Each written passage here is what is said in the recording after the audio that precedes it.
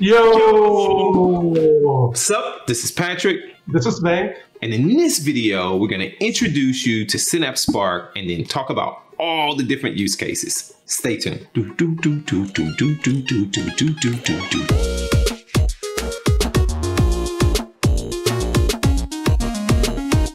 If you find this for the very first time, be sure to hit that subscribe button to stay up to date from all the videos from both Adam and this guy. All right, Venk, thank you so much for taking the time out of your day. But before we get into this, why don't you tell us a little bit about yourself? First of all, I wanted to say that you and Adam are doing a phenomenal job. I'm just honored to be here um, on your channel and talk about Spark. So I'm Venk. I'm part of the Synapse Customer Success Engineering team. My team actually works with our enterprise customers to deploy big data solutions on Synapse Spark and Azure HD Insights. So, so happy to be here and talk about Spark. I actually went out and kicked the tires a little bit, but I wasn't sure about some settings and, you know, these notebooks and PySpark. So I decided, let's get somebody who really knows about this. So let's start by you telling us what actually is this Synapse Spark? First of all, Apache Spark is one of the important tools within the Hadoop ecosystem. It's an open source big data analytics engine, so to speak, that allows you to do ETL, machine learning, data science type of workload. It works on a distributed architecture. And Synapse Spark is specifically the Apache Spark operating within Synapse. I think that's where I got stuck, Venk. I'm like, okay, I'm about to spin this up,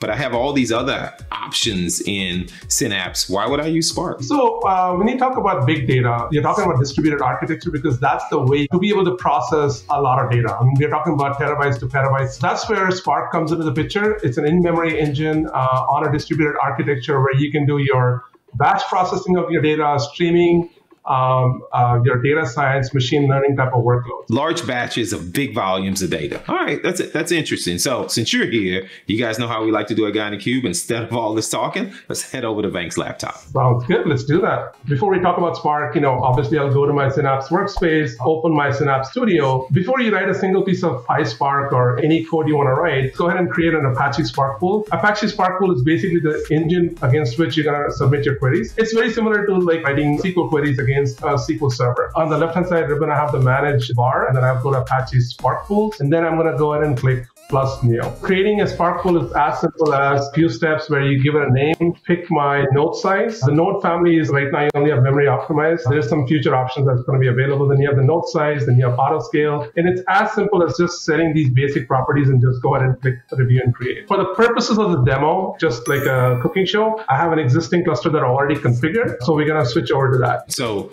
when I went to go and create my Spark pool, the first place I got stuck is what size do I choose? Because there was was a list of them. I was like, should I start small? Should I go big? I wasn't sure. It really comes down to the data volumes, the complexity of the process that you're trying to run. If you're doing demos and stuff, you can start off with a small configuration. It really comes down to, hey, the number of cores and the amount of memory you want on each of your individual nodes. More data and more complexity, you know, go with a, bigger node size. All right. And then, right, I saw that auto scale and I was excited about this auto scale, but then I was like, okay, I have this lower and this upper bound. What do I set? I mean, auto scale is just a way for Spark to kind of scale up the number of nodes on your cluster based on resource requirements like CPU and available memory. Upper bound is a way for you to govern your costs for your work. Lower bound is really, hey, what is the starting point? You don't want that lower bound to be too low where your jobs are suffering. So if I have a fixed workload, I probably don't need auto scale. But if I have a variable, let's sure. say it's a cyclical type of thing where, you know, I need more compute during this period of time, maybe I, I enable auto scale. Depends on the data volumes that are coming in. Sure. Yeah. All right. So that's great. So now what do we do with these Spark clusters once they're ready to go? The next thing we're going to do is we'll go ahead and create a notebook. The way you do that is in your Synapse Studio on the left hand side ribbon, there's an option for develop. And then we're going to go and click this plus sign to go create a notebook. And the first thing I do after I create the notebook is to go and attach it to a Spark pool. So in this case, I already have a Spark pool configured, so I'll go ahead and pick that. And now we're going to start writing some Spark code. For the demo today, we're actually going to leverage Azure open data sets, some public data sets that are available on Azure. In this case, I'm using a small data set called public holiday. Here, what I'm doing right now is just providing some connection information like, hey, where is my storage account? What is my storage account name, path, and so on and so forth. I'm not actually doing anything. I'm just creating some variables. Table. The next thing is I'm actually going to instantiate my Spark application to establish a connection to the Azure Blob Store, or in this case, where my data is sitting. It's like when you're trying to connect to a SQL server or your SQL pools, you know, you have the server name and credentials and so on and so forth. And that's what we're doing here. Next step is we're going to actually go ahead and create a data frame. So in this case, we're actually going to make a reference to that public data set. In this case, the public holidays data. Data frame is just an in-memory table. I'm using a function here called spark.read.parquet because the data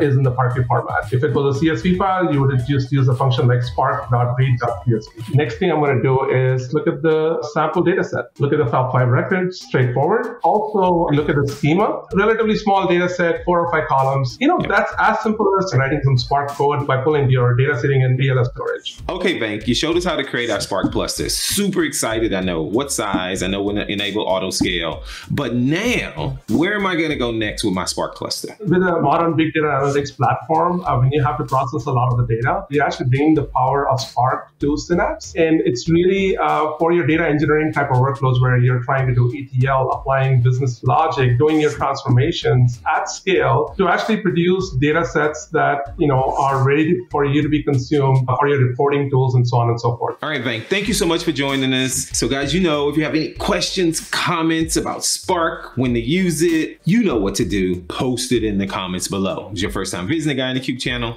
hit that subscribe button. If you like my video, give me a big thumbs up.